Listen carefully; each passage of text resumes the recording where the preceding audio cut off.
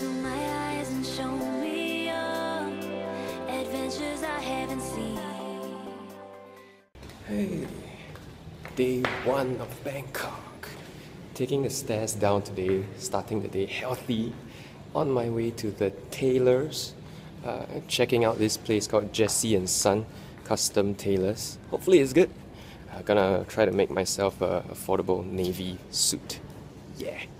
See, guys, when there's sunlight, things are less scary, isn't it? Spoiler alert anyway, for those of you who watch Deadpool, the end credit scene has him saying that Cable will appear in the next movie. Is the next movie gonna be in Thailand?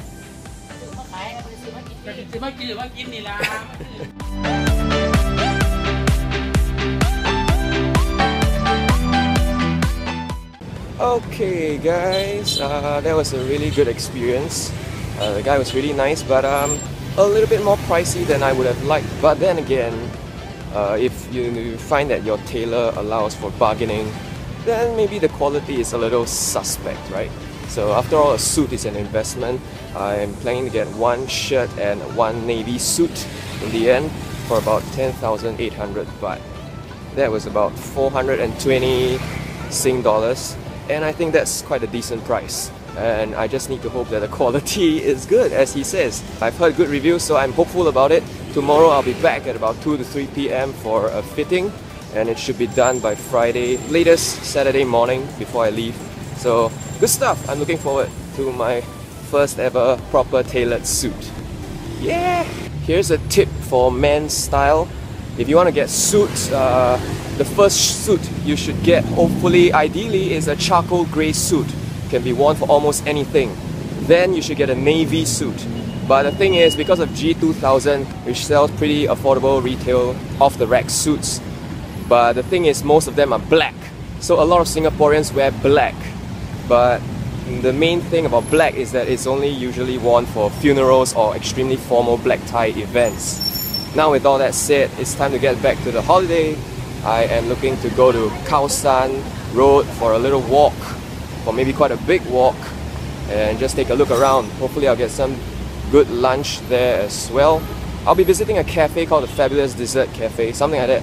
Look forward to it guys. Okay guys, now that I have hit you up with the man style advice, however unsolicited or illegitimate it may sound, considering I'm the traveler that looks like shit right now, uh, here's a travel tip for today. Okay, so when you're walking around, always bring a nice little day bag.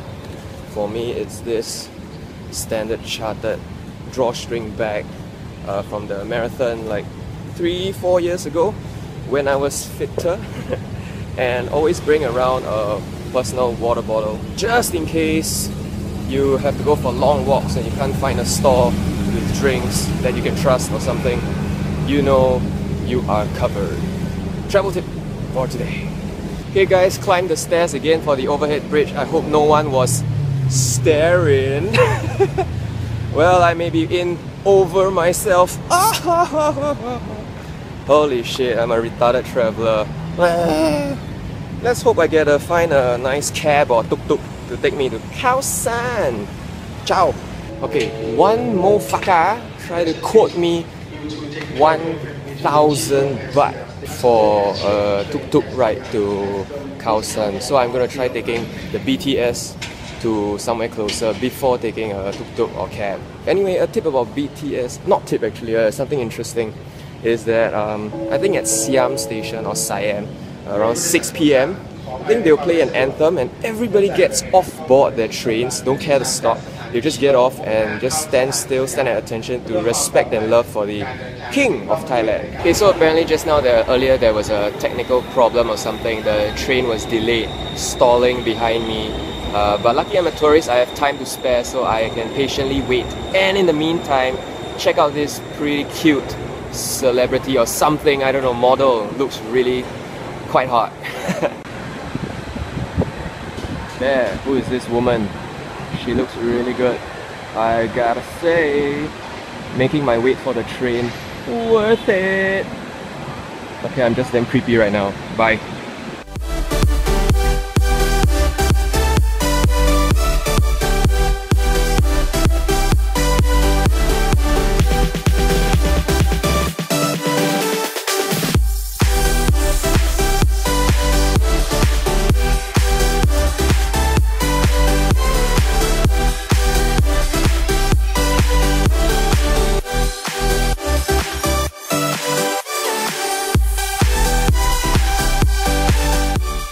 Wow, guys, that was pretty wild, but very fun. 100 baht. Cheap, fun, wild, but quite tiring. I mean, my legs now like shaking. But we're finally in Khao San Market. Uh, I'm just gonna walk around and explore, yeah.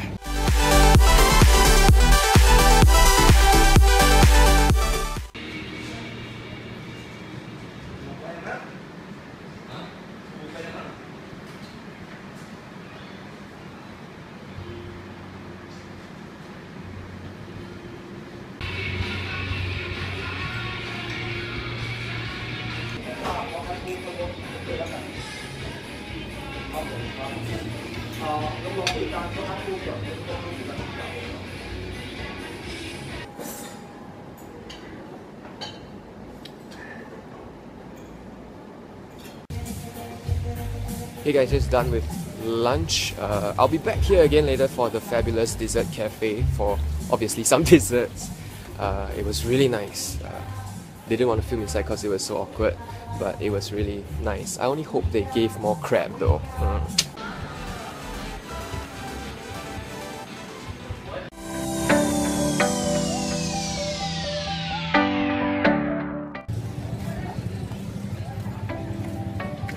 This bar at the back looks like the one Running Man played their games in when they came to Thailand. I think it is.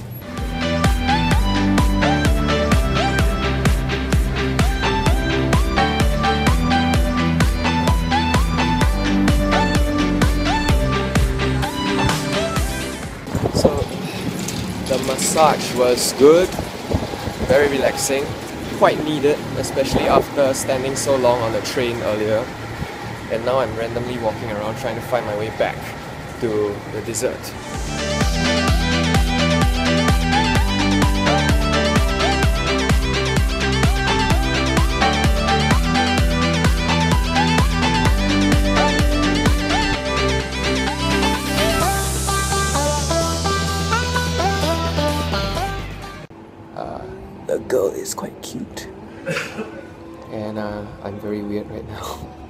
Okay, I ordered the chocolate lava cake.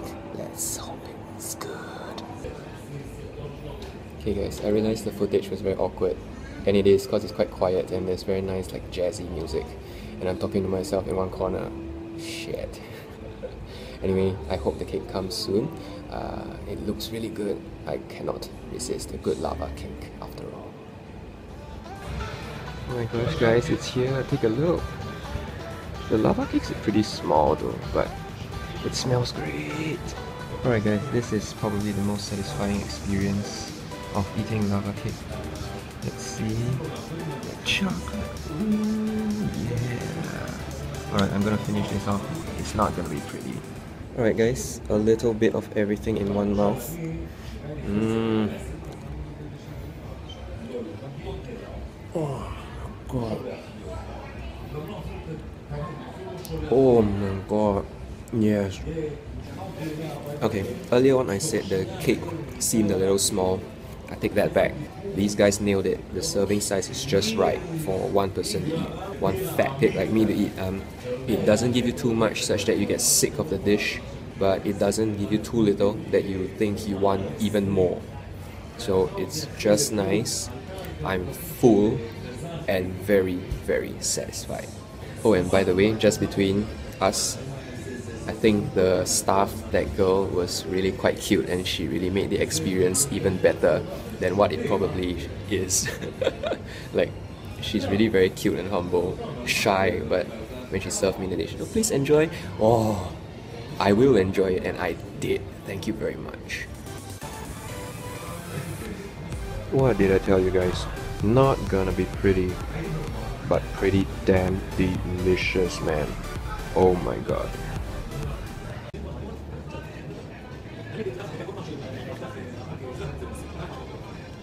Okay guys, now I'm trying to find some sightseeing stuff. So there's some October 14 monument and later I'll take you through to the Democracy Monument. We passed by that earlier on a bike but my footage was uh, screwed up so I'm gonna try to reach these places and take some panoramic-esque shots.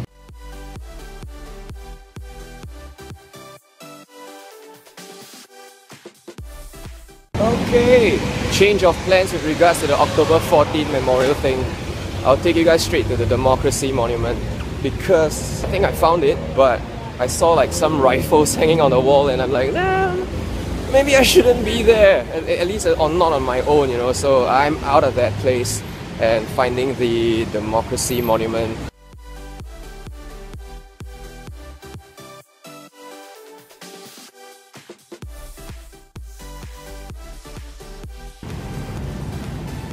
It guys, the footage sucks and the traffic sucks even more. I'm just gonna try to find my way to Chinatown now by foot. Yes, that's right, I'm gonna walk there. The initial plan was for me to take a boat, but you know, screw it, I got time.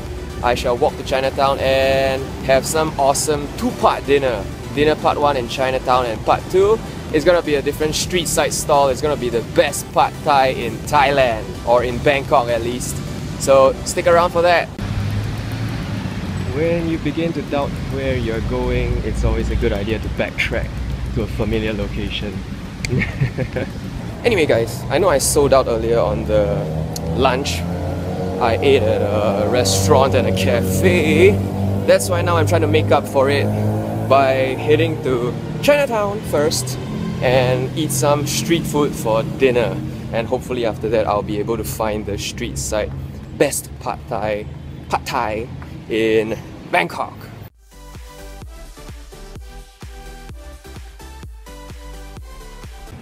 Alright guys, I'm not gonna lie, I'm lost.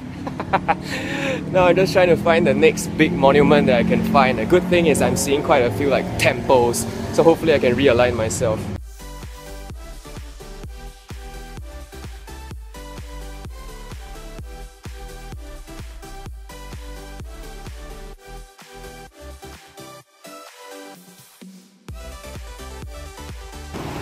How lost am I that now I'm like walking beside the Ministry of Defense or at least something like that. anyway, if the street map and my brain is correct, I might be able to reach the Pad Thai place first. So I may head there and eat that as dinner round one. And then after that, find damn Chinatown um, and go for round two in Chinatown. Okay, so good luck to me. I am determined to find my delicious street food. And I hope you are too. Rah! Bamrung Muang Road. I've been looking for you for days, man. Yes! Shit, man, guys. That Rolex building thing looks so damn familiar. I think it was this place where I made the wrong turn that made me walk one big round. Shit!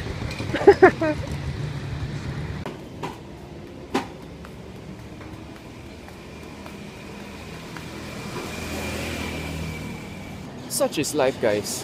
One wrong turn and you could end up walking one big round. But it's okay, guys. What's important is to find the right route, pick yourself back up, and stay positive.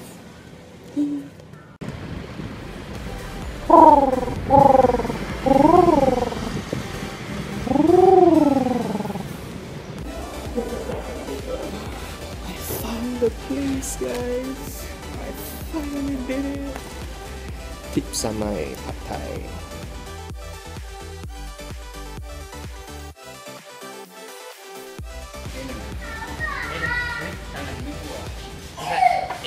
When you come here, you gotta have the Pad Thai.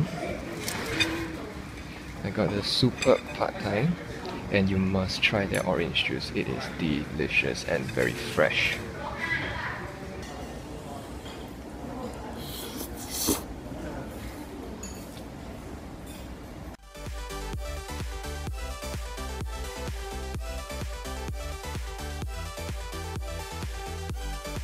delicious, the best meal I've had so far in Bangkok. And now for reals, it's time to head to Chinatown for reals. 好了，走了一整天，终于来到我们想要抵达的 Yawarat Road or Tanon Yawarat. It's supposedly Chinatown, this entire stretch. So we have finally made it. Now I just need to reach the end to find the correct place where I want to get my crab fried rice. 真的觉觉得有点羞耻，讲不到好的华文呢、华语。It's beginning to look a lot like Chinatown. Or am I mind fucking myself? Damn, damn, damn. I'll be there someday. I will go the distance for 螃蟹炒饭. I will face it all. This is definitely Chinatown. yes, guys, it's coming.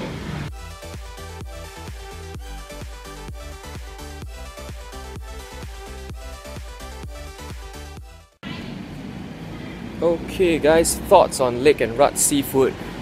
I didn't finish it because it was very filling. I was stuffed by then.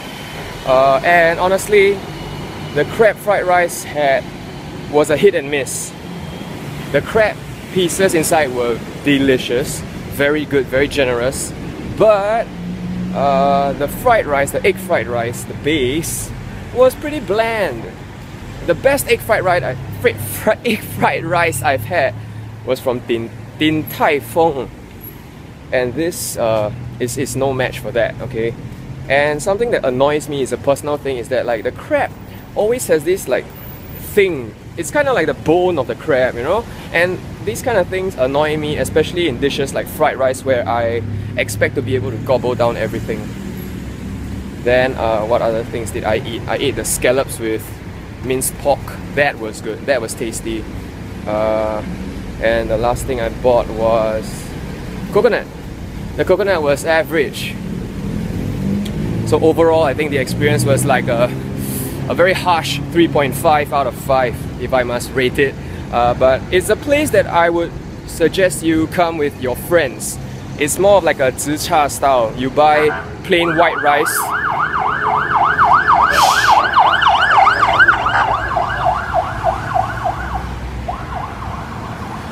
Horse somebody overcooked the fried rice.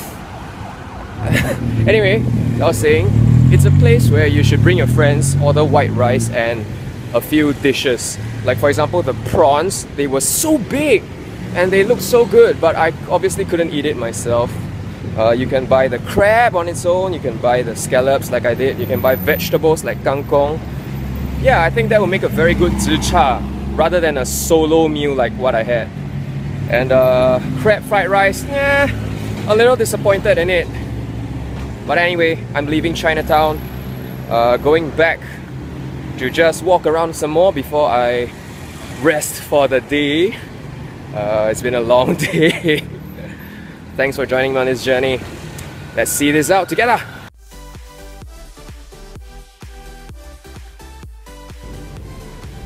Okay guys, uh, this is my legit panorama shot with my selfie stick. So let's go.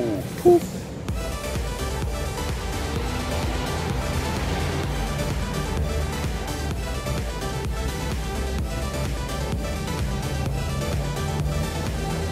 Enjoy that guys. It's time to head back.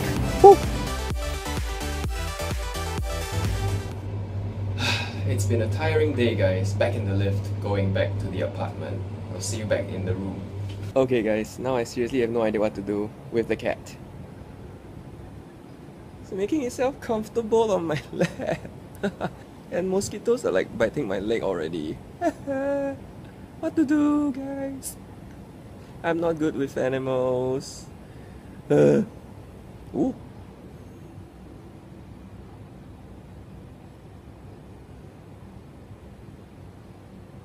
Okay, anyway, before I got distracted by the cat, I managed to walk around and recce the area a little bit more and I'm very happy to say that I managed to find some of the night spots that I intended to check out over the course of this trip.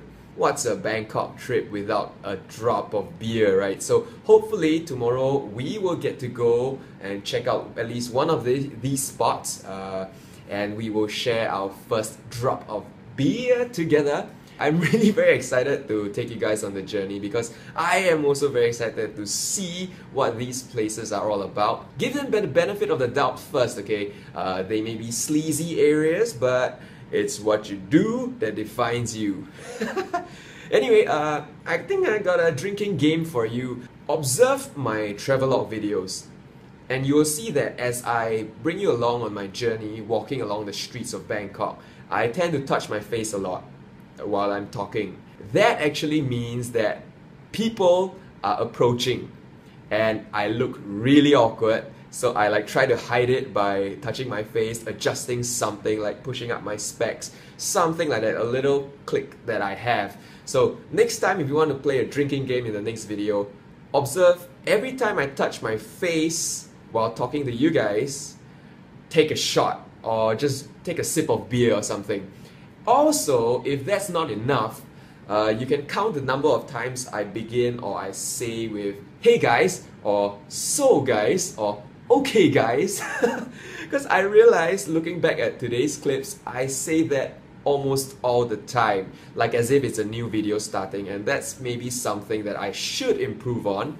And of course talking about videos as a whole I apologize for poor footage you know uh, shaky cam and all uh, I'm not the best videographer and of course um, as much as I would like to put in those very nice classic travelogue style videos where I show you very nice footages of move of movement of traffic and stuff like that while music plays in the background some electronic music some house music uh, that may not be possible considering the footages that I got.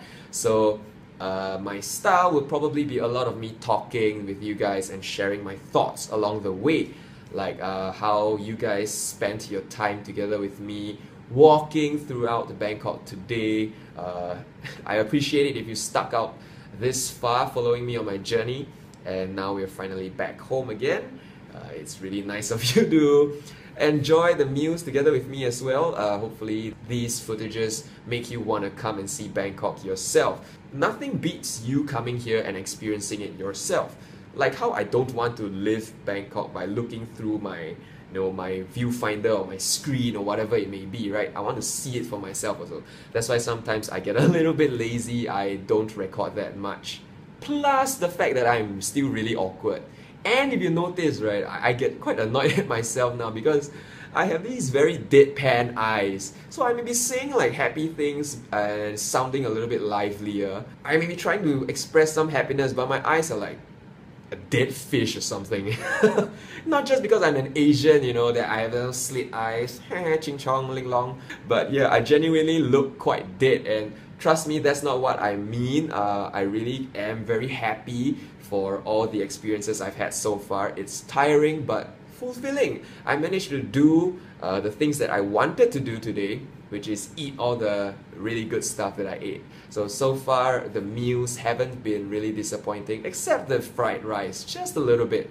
But that's me being harsh. Uh, I still want you guys to come on out to Bangkok and see all these things yourself. So many things to see here, so many cultures to experience because everyone here, you know, 50% at least of the people you meet are like tourists and it's cool to just soak in the sights and sounds. So once again, thank you for sticking around for day one of Bangkok Travelogue and I'll see you again tomorrow. Hey guys, thanks for watching this video again. Give me a like, comment and subscribe if you enjoy these. And stick around for day two coming in really soon, I promise. See ya and peace.